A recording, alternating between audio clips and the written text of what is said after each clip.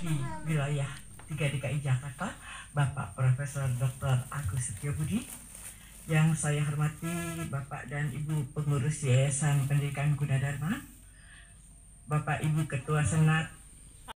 008 Niken Wahyuni Bekasi